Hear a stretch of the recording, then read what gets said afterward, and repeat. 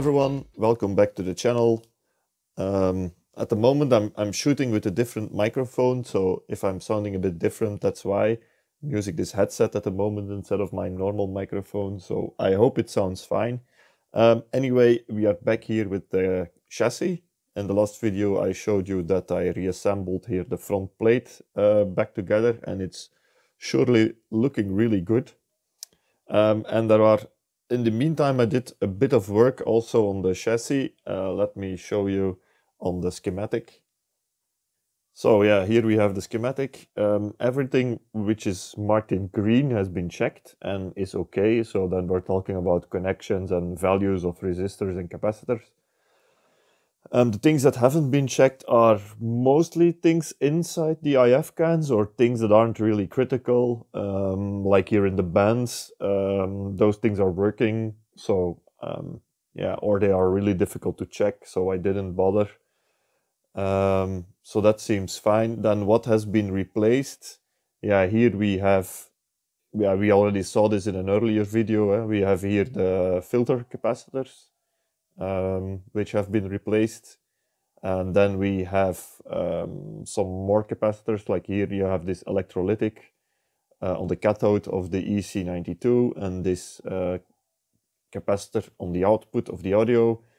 And then also here the uh, electrolytic in the detector uh, has also been replaced. Um, and then I found that there were two resistors uh, slightly out of spec uh, like here the resistor on the anode, on the B plus of the EABC 80. And same thing for the this one. I didn't mark it yet, but it's the same. It's the also a 470K resistor on the anode of the Magic Eye, the EM84. So both of these were slightly out of spec, not much, um, but I changed them anyway. So see that's this one over here on the uh, EM84. And over there we have the resistor replaced uh, on the plate of the EABC 80. So here we have both resistors. Let's see what they measure. Um, this is the one of the EABC 80. See, it should measure 470K. We're measuring 535, um, which is not really a lot out of spec and it will definitely work still fine. But uh, yeah, this does give a slight indication that this resistor had a bit of a hard life. So it won't um, improve anymore. Eh? So this will get worse and worse. So I just decided to swap it out uh, anyway. And this is the one of the EM84 of the Magic Eye. See, that one is worse even. Um, 600k, 610k almost, should be 470. So that one is uh, quite a bit out of spec. Also not dramatic, will also still work. But since they are so far out of spec, I um, yeah, it does give an indication that they have a hard life. Eh? So I swapped them anyway with um, 470k metal oxide, uh, uh, 5% resistors. So those should be way better. Um, see.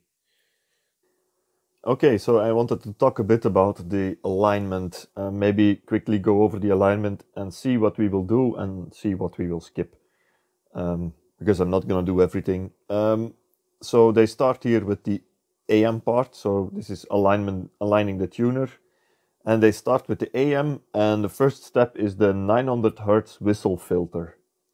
Um, so what is a whistle filter? Well, um, this is basically a notch filter which cuts out um, the 900 hertz or the 9 kilohertz frequency from the audio tone. Now, why? What is this, and why does this tuner have um, cuts out the 900 hertz or 9 kilohertz from the audio? Um, that's because here in Europe, the AM stations they are 9 kilohertz apart. Um, depending where you are in the world, this will change. I think in the US it's 10 kilohertz, but here in Europe it's 9. Um, so that if you have like, um, if you're listening to a station and you have a very strong station next to you, so let's say 9 kilohertz higher or lower, then um, it might be possible that you can hear this carrier frequency difference between your station and, and the, the station next door, let's say, and you, you hear this as a 9 kilohertz tone in the audio, which obviously is quite annoying. Um, so that's why this radio has a uh, notch filter. A notch filter is basically the opposite of a bandpass filter, eh? so it uh, cuts out uh, one particular frequency, so it has to be very deep and very narrow because you don't want to, yeah, you want to remove the 900 hertz, uh, 9000 hertz, but you don't want to, you want to limit it as much as possible to 9000 hertz, so you don't want to cut more of the audio as you really need to. Um, so that's this whistle filter. But the problem, obviously, with this is that if um, um, if it is mistuned, then you it will completely lose its effect because it will cut off a sequence a, frequency at the side. For example, let's say 9.5 kilohertz if it is mistuned, and your annoying um, 9 kilohertz whistle will still come through. So it's critical that this whistle filter is um, tuned correctly. I don't know if I explained this well, but I, I hope you understand. So um, if you are listening to a station which has a very strong station next door, then you might have a annoying 9 kilohertz tone in the audio and you want to cut out this tone. Let me first show you on the scope that it is actually working at the moment. Uh, so I have here my signal generator and I have my scope. Uh, the signal generator is connected to the uh, grid of the last IF stage of the EF89. Um, so that's this point over here. You see the EF89 is over here. And the uh, 9 kilohertz whistle filter is over here. It's this guy over here.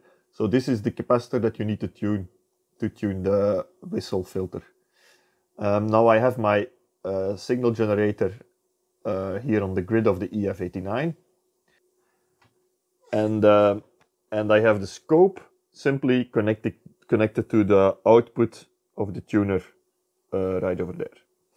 So if I now enable the uh, signal generator, yeah, you see I have a tone clearly on the output. I have now an 800 hertz tone. It's 1.1 volt peak to peak, which is maybe a bit hot. Let me just decrease the uh, or increase the attenuation a bit. Oh yeah, okay. 950 millivolts um, peak to peak. So now if I'm gonna increase the frequency here, so this is 800 hertz. Let me just increase the frequency. We are now at 1.1 kilohertz. Let's go to 2 kilohertz, 3 kilohertz. You see that, yeah, this is normal that the amplitude of the signal is dropping. Let me go to 4, 5, 6, 7, 8. So yeah, it's already quite low. And then we let's go to 9 kilohertz. And you see that, that the frequency is really dropping quite low. Let's go to 10. And it's again a bit higher.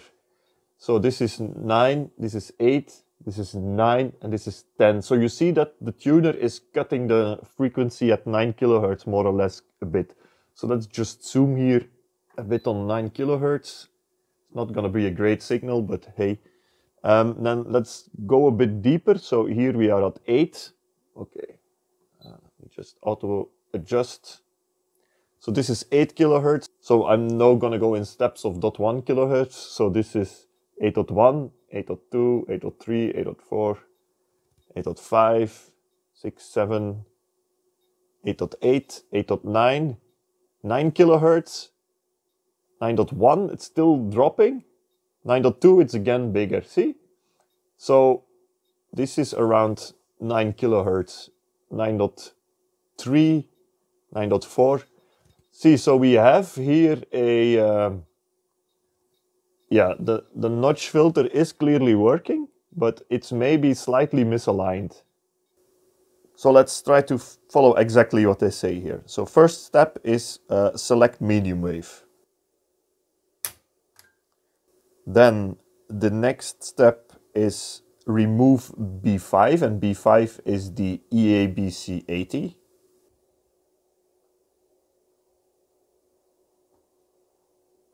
Then the next step is to short S31. S31 is that coil over there, that guy over there, that one. So I'm just gonna take this jumper here and see what is the easiest place to short. S31 is on one side connected to ground, so I can just here take this ground connection and then the other side is this resistor over here. Oh no, this one over there, sorry. This one. And the next step is then to connect a voltmeter between 0.6 of uh, the socket of B5 and ground.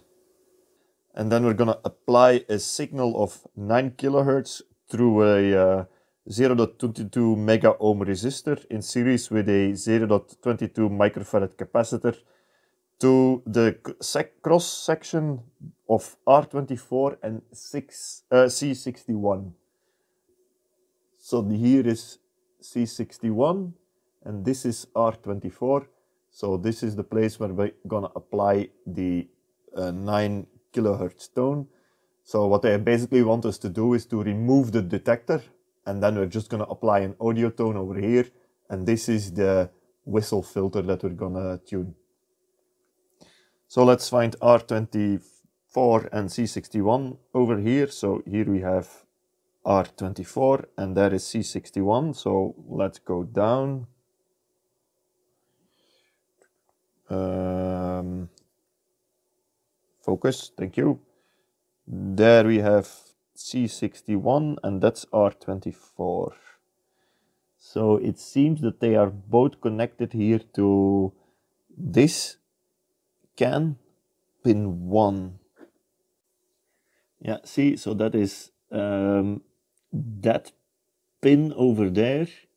Um, this is uh, C61 and that that one the back one that's R24 and they are both connected here. See to that pin. So we're gonna supply the 9 kilohertz tone to there. Let me just snap on the signal generator there if I can. That should do it, I guess. Uh, see, then they say, um, so adjust C73, which is the whistle filter, to a minimum on the voltmeter and then restore the tuner back in its original condition. The capacitor that we need to adjust is on the top. So it's that guy over there, C73, and it's that guy over there that we need to adjust.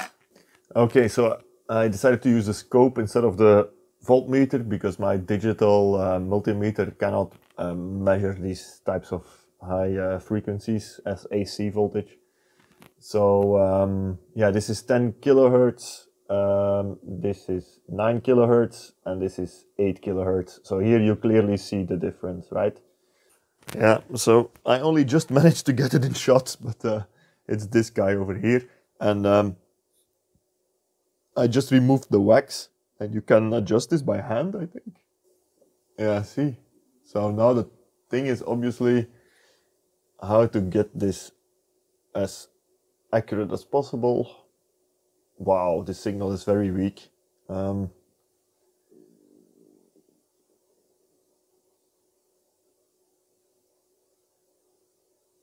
Yeah, see, I can reduce it, see?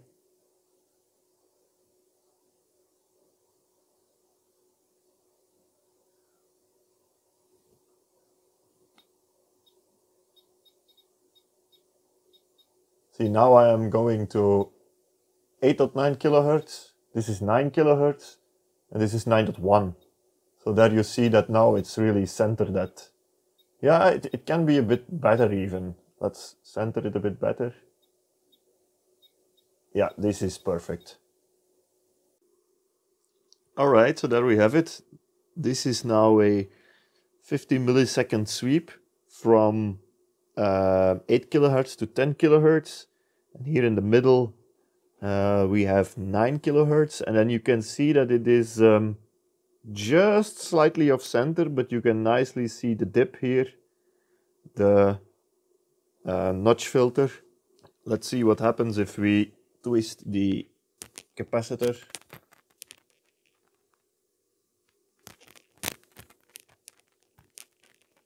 So I'm not doing anything yet. There we go. Okay, I'm not seeing a lot.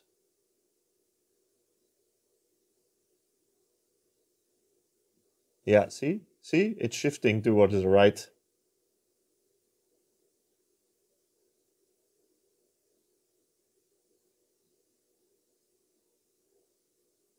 Yeah, this is perfect now.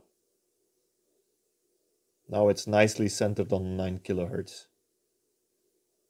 Now this is maybe the best way to align uh, like it like this because then you can clearly see where the center of the notch filter is. Now you can also see that it's not a really fantastic notch filter because um, yeah here afterwards it goes up quite steeply but before there is not really a sharp cutoff. So for a notch filter, you really want to have the cutoff as sharp as possible, which is not the case here, but hey, um, it's already a feature that uh, other radios from this time period didn't always have. So yeah, you can clearly see that this is, uh, so yeah, I guess it's also because it's quite an uh, expensive model or it was a high-end model in uh, end of the 50s. So uh, yeah.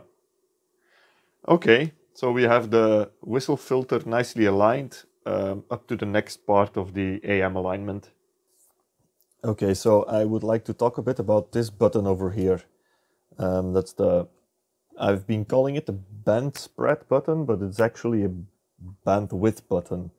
Um, now I'm recording this after the alignment, so I already did the AM alignment, but um, I realized that maybe it's more interesting if I explain this first. Um, so this button, um, at first I thought it was a band spread button um, to able to extend the band here on the on the, the AM, especially on shortwave. And I didn't really look into what it was doing. But then when I um, actually looked at it, I realized it's not a band spread button because yeah, here in Dutch it says bandbreedte, which is Dutch for bandwidth. So what it does, it widens the bandwidth on uh, on AM, only on AM, um, but for the audio, so not for the carrier, but it widens the, the bandwidth for audio. So here in Europe, um, AM radio stations are traditionally 9 kilohertz apart.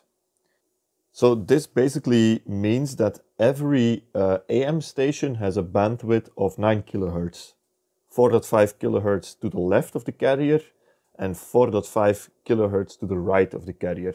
Because at that point, obviously the, the bandwidth of the next station starts because that one also has 4.5 to the left 4.5 to the right. So you have two carriers in between. You have 9 kilohertz, uh, of which 4.5 is for the left station or the lower station, and 4.5 is for the upper station. So in total, every station has a bandwidth of, of um, 4.5, uh, sorry, 9 kilohertz. Now, um, I'm not going to go into details on how the sidebands are created with uh, the AM modulation, etc. Um, but as AM modulation is symmetrical. So this means that um, whatever modulation you're doing creates a sideband on both sides of the carrier. So uh, everything you do in the 4.5 kilohertz to the right of the carrier will be symmetrical to the left. This means that you have an effective audio bandwidth of only 4.5 kilohertz, right? Because yeah, it's the same on both sides of the carrier. Now this is how it works in practice and it's just a matter of convention that these stations are 9 kilohertz apart. In theory, you could have an unlimited bandwidth.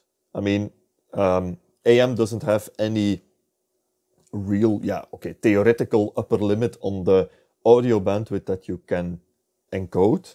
So this means that a station could have a much wider bandwidth than the 4.5. So if you would have a station which doesn't have any strong stations besides it, next to it, then it might make sense to widen the bandwidth, right? Because then you can pick up the higher frequencies which you normally could not pick up. A normal radio doesn't do this. And a normal radio cuts off the audio at around uh, 4.5 kilohertz or maybe even lower on AM, just so that it doesn't pick any pick up any of the interference of the the station next to it, right? But in certain scenarios, it might make sense to do this. If you don't have any interference of any neighboring stations, then you might, yeah, it might make sense to only for that station that you're listening to to widen this this bandwidth. And that's basically what this button does. So if you press the bandwidth button, then you are widening the audio bandwidth that the AM um, is picking up here, even though you are technically or, or theoretically you're going outside of the specification limits of what is in the official bandwidth of the station. Um, if you push this button, you'll widen the bandwidth. And see, that's also what we have here on the specs sheets in the service manual. So the bandwidth of the AM is normally it's 8 kilohertz. So you see um, there is 9 kilohertz between the stations, but the radio is tuned for 8 kilohertz. And then when you push the white button, it's enlarged to 15 kilohertz. So that means that you have an effective audio frequency up until 7.5 kilohertz here, whereas on the small, you only have an effective audio frequency of uh, 4 kilohertz. Maybe it's a good idea to show you a bit in practice how this works. So yeah, I would like to show this on the scope. So ideally, I would like to show a, um, I would like to do a sweep on an audio frequency and show you how much of the audio uh, frequencies are coming through, basically. Um, so starting from zero hertz to maybe 10 kilohertz, let's say. At 10 kilohertz, then we are uh, anyway outside the range. So if I would do a sweep from zero to 10 kilohertz, and then it would be really nice to show the bandwidth that is coming through with and without the bandwidth switch pressed in. And then you can nicely see the effect of uh, on the audio. Um, now the problem is with this that obviously I need to sweep the audio frequency. Um, so that means that um, I want to send in a carrier and that carrier needs to say fixed and then I need to sweep the modulation. Um, I, I, want to change the modulation from zero hertz to, or let's say from uh, 20 hertz or something, or 100 hertz to uh, 10 kilohertz. Now, how am I going to do this? Because my um, frequency generator, uh, my signal generator, I don't think it supports this. I, at least I don't know how to do it. I don't think it's supported. You can do a sweep, but you can only sweep the carrier, not the modulation. So I'm going to use two uh, signal generators at the same time. So the nice thing about this guy is that it has an internal uh, modulator, so it can modulate a 400 Hz signal, but you can also supply an external tone and use that as uh, an audio input, and then it does the modulation of this tone and it sends it out on a carrier frequency. So the idea is that I use this uh, signal generator to um, to sweep the audio. So setting up a sweep like uh, uh, like I said, from 10 to 100, uh, from sorry 10 hertz to 10 kilohertz, putting it in on this signal generator and having this guy modulate it on top of a carrier and send that to the antenna of the radio. That's the idea. Now I have everything set up. So I have um, the output here of the signal generator is going into the uh, input, the audio input of this signal generator. And the output of this signal generator is going to the antenna of the input of the radio. Um, and the trigger here, um, the sync signal of the sweep is going to the scope and I'm using that as a trigger. Okay. I hope you can still follow. Um, so I'm just blasting it in at the maximum uh, peak-to-peak voltage that I can at the moment. Um, and I have here, see, I am doing a sweep. Um, I have a sweep, let me see if I can adjust the brightness here a bit because it's a bit difficult to read. Okay.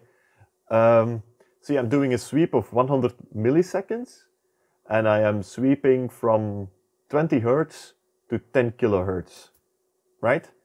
Maybe to make it a bit easier, let's start at 10 hertz. And as soon as you enable the sweep, you can already see that the sync here is coming in on the scope. So I have the sync on channel 2. Um, and that one is coming in nicely, as you see. And then obviously I have the output of the tuner. I have that uh, connected to channel 1 of the scope. Um, okay, and then I also have here this signal generator. I have it set for uh, 550 um, kilohertz. And then I have here the radio or the tuner set to medium wave and or not yeah yeah the tuner is off now but it's set to 550 kilohertz on medium wave um, all right. Now let's see. Let's first of all power up the tuner here. And let's wait until the tubes warm up. And um, for the moment I'm just gonna use just as a for a second the internal modulation. Oh you can already hear it. See? I'm just to use the 400 Hertz tone internal modulation just to put the radio on the on the correct station, right? Maybe I'm just to turn up the volume a bit and see here to tune it correctly. Okay, it's tuned rather nicely, I guess. Let's disable the modulation. So now I'm again on the external um, modulation. And now I'm just gonna enable my audio sweep here and see what we get. There we have it. Yeah, okay, I do notice that I'm not really perfectly tuned here to the station, so let me just tune here the, the tuner a bit better.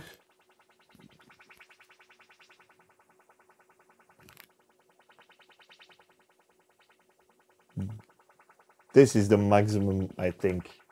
Okay. Now, let's turn down the volume. Um, what do we see here?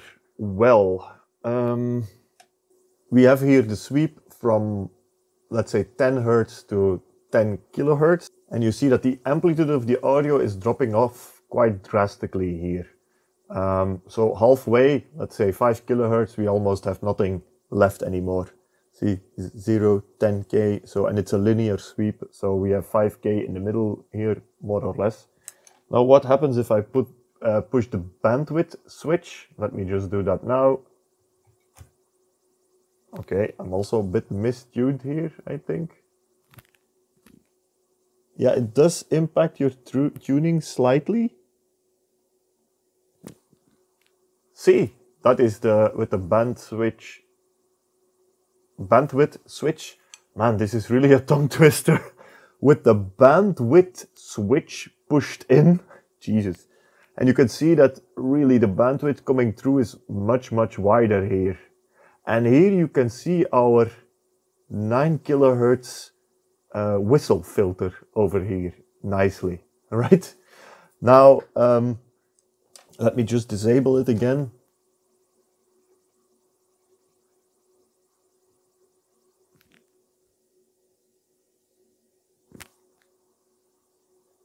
Okay.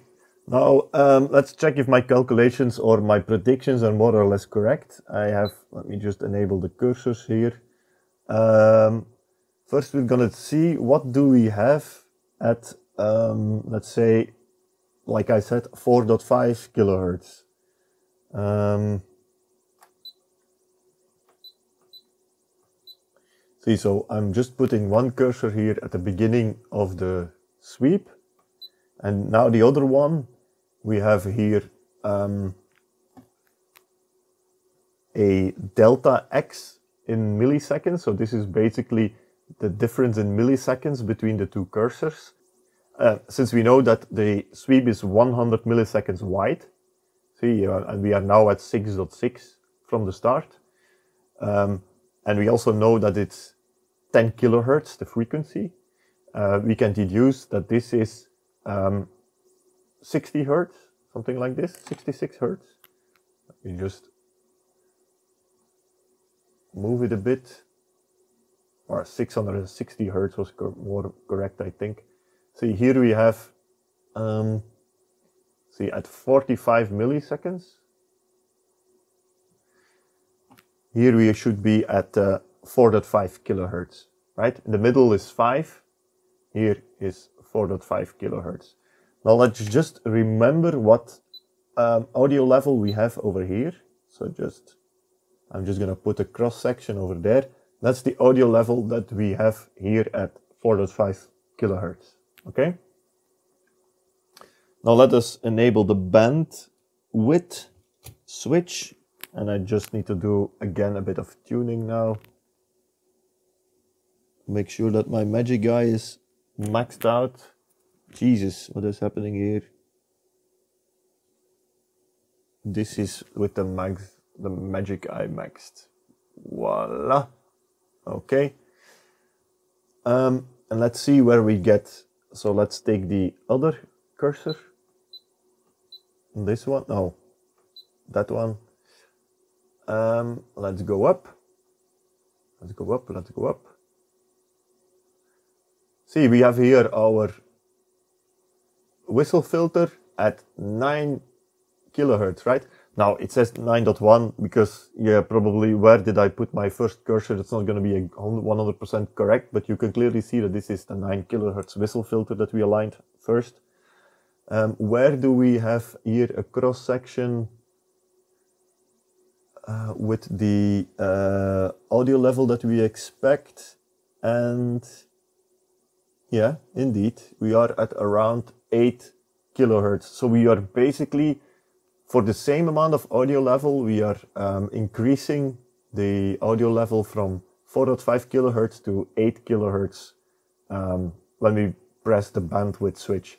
And you see that now the high frequencies here, they are also coming through. Um, but if we, yeah, a normal radio doesn't do this. A normal radio would behave um, like this. Uh, let me just see. Uh, this is ah, this is uh, here. This is how a normal radio would behave, right? Um, and then you don't have any issue with the interference of the 9 kilohertz carrier of the neighboring station. But when we push here the bandwidth switch,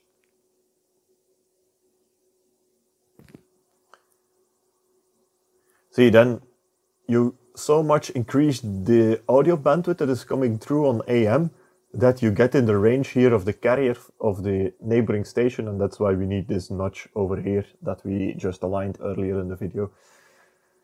Okay, um, that's really cool to see and that's also one of the reasons why this is considered like a high fidelity or a high-end tuner that you can do this. A, a normal radio doesn't do this, it just cuts off at yeah, four kilohertz, four and a half, and then everything below um, is basically attenuated so strong that you don't have any interference of the neighboring stations. But the trade-off is obviously that you don't never have any high tones on AM. With this guy, you can receive high tones on AM. Let's see, see, I think here at 10 kilohertz, it's even, yeah, you can even hear it, right? Um, so yeah, if there would be a radio station which is sending out high frequencies and you don't have any neighboring stations to interfere, then this tuner will pick them up. Just for curiosity, let's maybe do increase the sweep to 20 kilohertz. Let's see what we get. Um, normally, I don't think we should have a lot um, because remember that the band uh, that they said that the bandwidth was extended to seven and a half or eight. So yeah, I don't think we will have a lot above this, but okay, let's try it anyway. Um, I'm just gonna now put the stop frequency here at 20 kilohertz. And let's see what we get. See, we have here now our 9 kilohertz notch. Then we have still quite a bit of frequency above the 9 kilohertz and then it's dropping off drastically and we basically don't have anything above 10. But that's still twice the amount of audio bandwidth that the normal uh, AM receiver would receive. So yeah, this is, I think, quite interesting and quite nice to visually show you how, um, what the hi-fi capabilities are of this uh, receiver. And this is something that from, yeah, that period of time, let's say the 1950s, um, a feature like this, it was already existing also on earlier radios, but only on the very uh, expensive models. So, okay, that's that. Um, I just wanted to add this video before uh, starting the everything about the AM alignment because I think it it makes sense to put it after the alignment of the whistle filter, um, and then yeah, also before the uh, alignment of the AM. So, okay. Now back to the AM alignment. Okay, so um, I think that's enough for this video. Um, it's already running quite long. Um, I didn't expect it to take this long. I originally planned to do the entire AM alignment in one video, but hey, this was interesting as well, I think. Um, so um, we're going to do then the AM alignment, the actual alignments of the IF and the RF in the next video.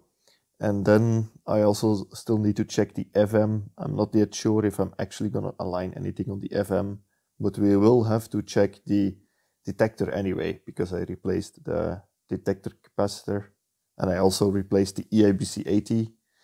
Um, so yeah, that's that. Uh, what's what's coming up, and that's basically it. Because then the only thing left is putting everything back together, which is not a lot of work with the tuner like this. So anyway, I uh, hope to see you in the next video. If you like this video, don't forget to like and subscribe, and then I'll see you in the next one. So take care. Bye bye.